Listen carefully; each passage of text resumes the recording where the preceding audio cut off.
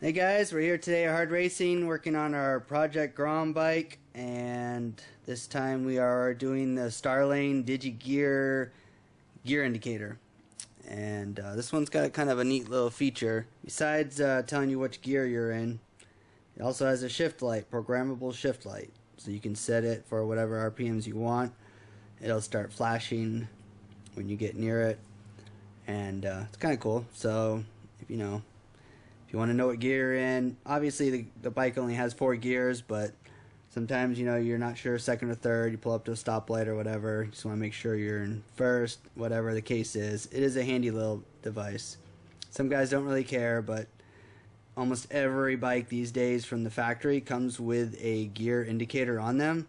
So there's a reason for it. Most people, I guess, prefer it. Otherwise, the manufacturers wouldn't spend the money to put it on there. So you get the gear indicator and you get the shift light, fully programmable. It's uh, a little under 100 bucks, so it's not bad. Um, it is not plug and play as it stands. Now we did get sent from Starlane a test harness that we're going to try out today. If it works fine, then they'll build us a whole bunch more. Plug and play harness plugs into the bottom of the Engear, plugs into your dash, and then you have. Uh, the white wire here that's actually your programmable wire. And you wind up touching that with the ground to program the Engear on what you want your RPM rev limiter to be for your shift light and how many gears you have. Because this thing is universal to work on anything with a motor from two gears all the way up to nine I believe. So it is something you could always use on anything else in the future. It doesn't have to be on a motorcycle. It could be on a shifter kart a car, or anything, anything with motor and gears. So, it's the Engear is sold by itself. You can get the optional harness. It's all on our website. Obviously, uh, we are the guinea pig, so we're going to try this out, make sure it works, and give them the go ahead to start making them. But literally, if you get the harness, you just plug it into the the stock dash, plug it in the harness of your OEM, and then that plugs directly into the gear indicator. And then this again is just your program wire and all you're doing is you'll read the directions and you touch the ground and basically follow directions and that's going to be how you program your your uh, shift light and your how many gears you have. So next we'll do the installation. Alright, so the installation is pretty straightforward and easy. You literally, uh, all you have to do is remove your headlight um, or in our case here, remove our top headlight since we got the double row. So that took all of about 15 seconds to uh, unscrew both sides and just drop the, the top headlight out of the way. If you have a stock headlight, it'll take a little bit longer for the extra two bolts on each side.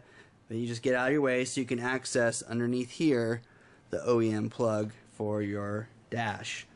So I'll get here real quick and see if I can show you this under here is where the harness comes in and there's this rubber boot right there. So you want to peel back the rubber boot from the stock gauge. And then once you get that peeled back you press the little release button on the plug and it pops out. And that's it. That's all you do you take that loose and now you're going to plug the if you got the plug and play harness which I'm pretty sure you will unless you want to guess and try to splice these wires just to save a little bit of money which would be crazy but some guys might do it.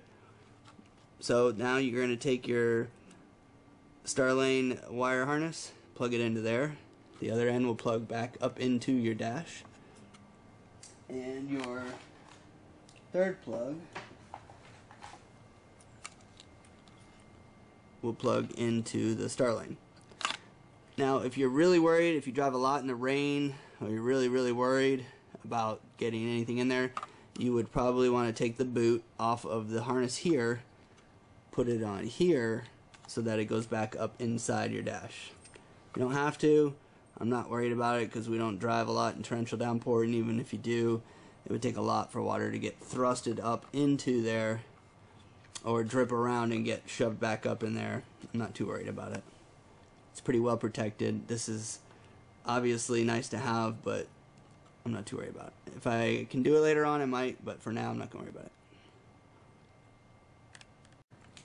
Alright, so we plugged it into the bottom of the dash, and then we plugged the other part into the wire harness, and that just leaves this last piece here.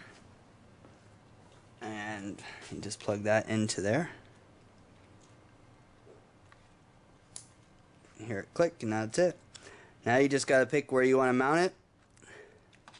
Get on the side. Probably that makes the most sense. And then you just program it. So we'll do that next. Alright, so we're all done wiring it up. And we've programmed it for four gears. And we set the shift light what did we set it at? Uh, about eight grand. So it kicks on right before rev limiter. And now I'll show you how it works.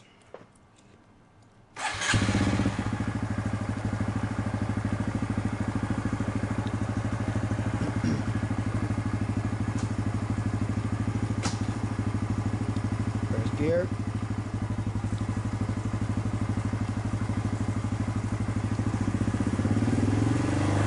And I don't feel like going uh, 50 miles an hour on a race stand, so I'm going to show you the rev uh, shift light in first gear.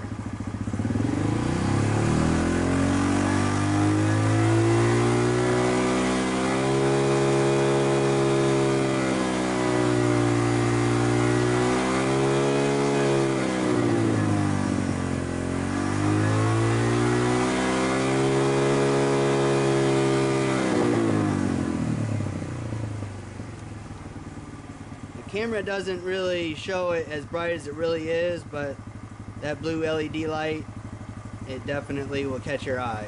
So definitely an extra little bonus uh, to having a shift indicator is also having a shift uh, light. And uh, that way, you, just in case, you know, you're really flying through the gears, if you've ever used one, it's a really handy device. So I'll show you how it shifts in the gears.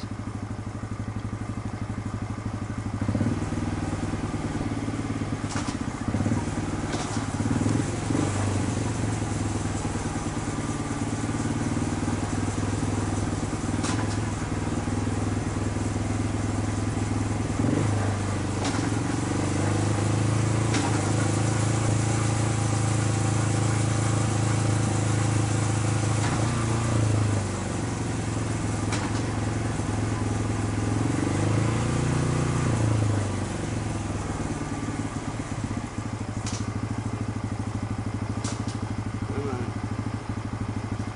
Get into neutral. There we go. There you have it.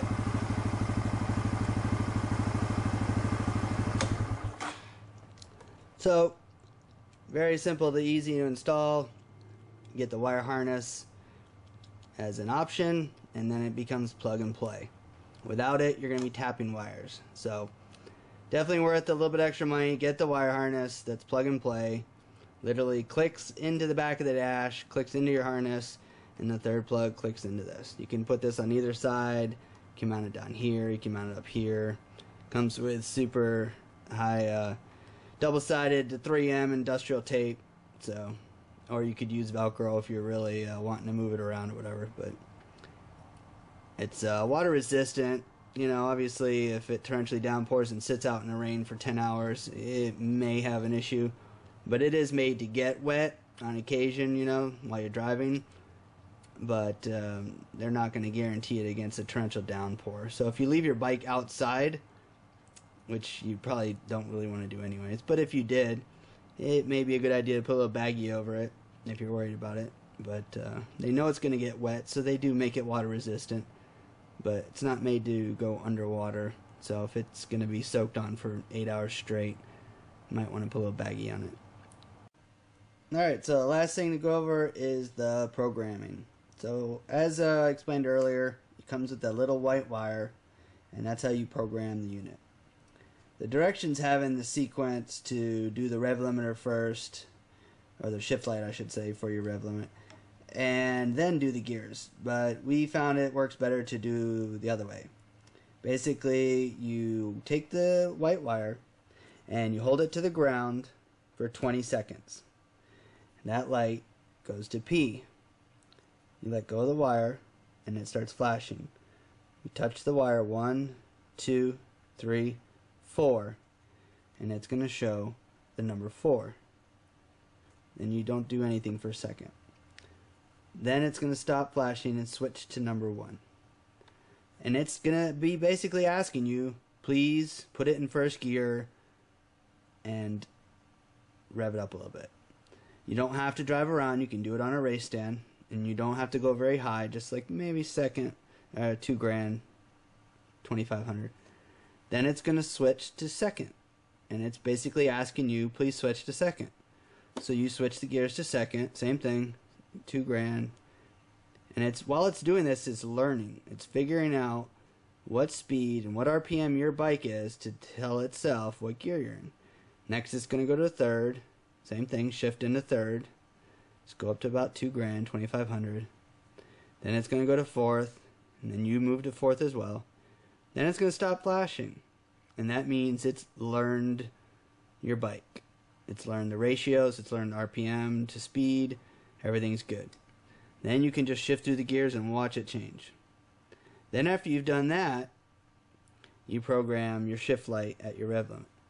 Take the white wire, hold it to a ground, which I was just using the fork cap top. It's easy to get ground right there. And hold it there for 10 seconds. And then the light's going to turn to an R. And then you let go. And it's going to flash. Now, you rev the bike up to wherever you want the shift light to kick on. 8 grand, 8500, wherever you want. If you've done a rev extend, 9 grand. If you want it a little bit beforehand, it's whatever you want. You rev it up to there. Hold it for 2 seconds. And it needs to be steady. So, in order to make it steady, it's best to have it in gear. Because without gear, the throttles are just up and down, up and down. No matter how hard you hold the throttle, it's still going to fluctuate. So, it's better to put it in gear on a race stand and you go all the way up to there wherever you want and then hold it for two seconds and then hit the kill switch. Don't turn it off just hit the kill switch. That'll go to zero and that's it. Now it is learned where you want your shift light to kick on.